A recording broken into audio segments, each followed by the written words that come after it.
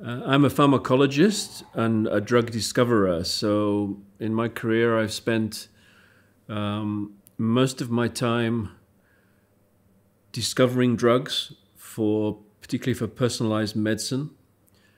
I have uh, in the teams that I've led, I've taken about 13 drugs into clinical trials from the lab. Um, and discovered more than those because sometimes we have backup compounds which you know we you you keep in reserve. So my background is is, a, is, is trained in biochemistry and pharmacology, and then I've had experience in at AstraZeneca for four years, um, in academia in Cambridge and in Glasgow, briefly in Stanford in the U.S. I've done two startup companies, so I've got experience in in in biotech as well. And I'm really excited by team science and by multidisciplinary science, you know, working together between biologists, chemists, pharmacologists, clinicians, data scientists. Um, that's all very exciting to me. For seven years, I was chief executive of the Institute of Cancer Research. So I've had a period of focusing on leadership. That was during the COVID period as well, which was, which was very challenging.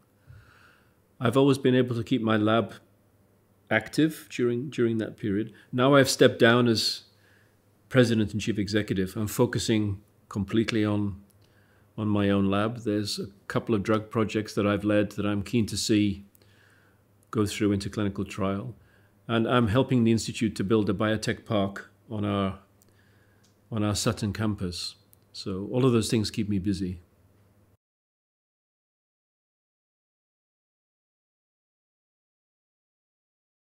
So I think the field of drug discovery in cancer is it's been enormously exciting over the last probably 20 years since the human genome sequence was was revealed, um, and then the genomes of cancers were sequenced, and that revealed to us um, just how many genetic abnormalities there are in different types of cancer, and then we can use that information to select the targets that we want to develop drugs against so that's been really exciting.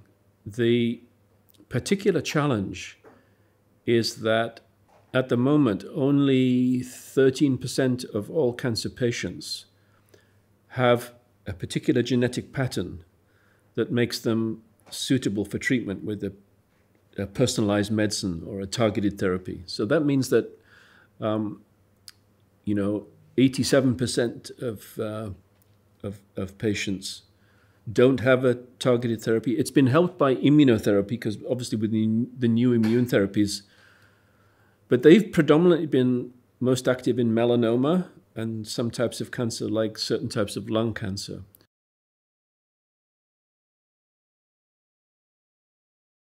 Many patients with types of cancers that do not yet benefit from this new era of molecular medicine.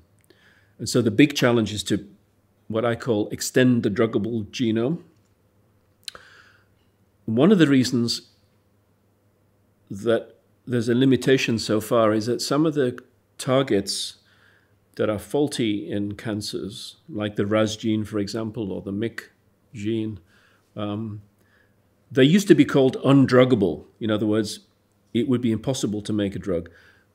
These days, there are new technologies um, I talked about fragment-based drug discovery for um, of how we get we discovered the AKT inhibitor capivasertib, which is just under review at the FDA. I talked about phenotypic screening, where instead of going for a molecular target in the test tube, as it were, you can do your drug screening against the cells that themselves that have the molecular change. There are RAS inhibitors now where you can use what we call covalent inhibitors. These bind irreversibly to the target and allows us to target RAS, which was not possible before. And there are other new types of technologies which we call degraders, where instead of inhibiting or blocking the function like, like a lock and key mechanism, you actually eliminate the, the, the molecule that's the problem from the cell. You degrade it, you eliminate it. Um, and so these are all opening up new avenues. Um, so I think over the next decade, we'll see a, a real expansion of the number of patients who can benefit from these personalized medicines. But that's the biggest challenge that we face.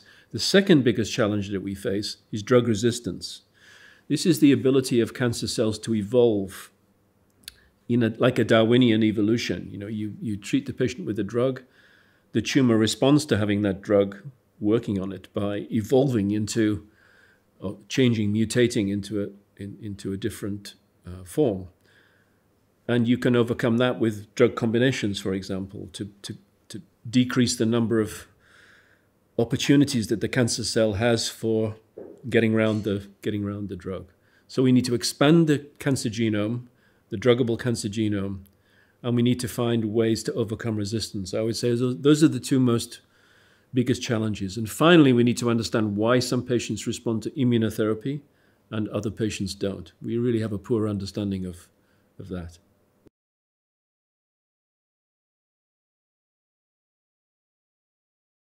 I think attracting uh, young scientists into translational research is, is, is, first of all, it's really important. I think what I would say to, for example, the young researchers that I spoke to here this morning, um, fantastic group of students and, and, postdocs, is first of all, it's a really exciting area. So um, the science is exciting, you know, the intellectual challenge, the scientific challenge, the technical challenge is is really exciting.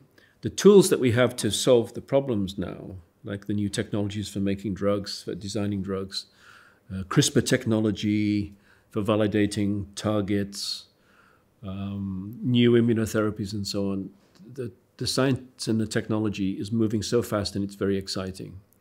Also, it, I think it's motivating because you can really make a difference if you work in a multidisciplinary project team which is also exciting. It's really exciting to work with scientists who have a different perspective and a different technical background to yourself. So I love working with chemists. I'm a biologist, but I love working with chemists. I love working with clinicians and engineers and different types of researchers.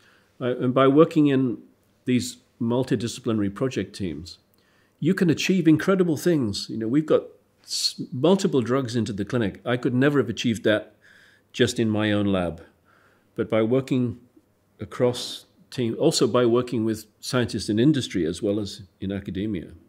So there's opportunities in industry as well as in academia. You can form a biotech company and learn about how to, you know, develop uh, new therapies in in that way.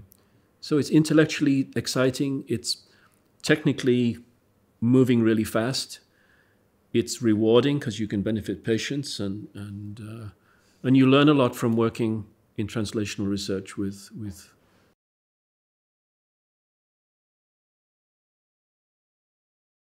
So I think probably it would be the the work that led to the drug called capivasertib. This is the AKT inhibitor that's currently under review by the FDA. So this is a very exciting time.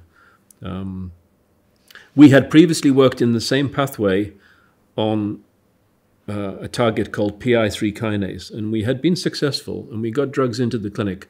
But in the end, the side effects of the drug, even though they were very effective, the side effects were meant that it was they couldn't be taken forward any further. Although some follow-up drugs of the same type eventually were approved for, for patient use.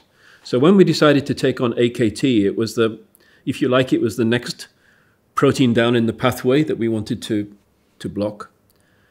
And we worked very closely with Astex Therapeutics and very quickly using this fragment based approach, structure based design based on the crystal structure, 3D structure of the protein, we very quickly got to prototype drugs and showed proof of concept in, in an animal model. And then we partnered with AstraZeneca, and AstraZeneca helped to complete the project and then funded the clinical trials. So that was, that was fantastically exciting technically. Um, and then the drug has gone into the clinic and has already, in the trials so far, has increased, has doubled the time before the tumor comes back in patients with, a, with an advanced form of breast cancer. So doubling the, the um, progression-free survival. So we hope that that will be approved. So I think that's been probably overall the most exciting and rewarding. And of, of course, it's it's the current one that we're waiting for a decision for approval. So it's very much at the front of my, my mind, and we're hoping that patients will you know, get the opportunity to benefit from that drug.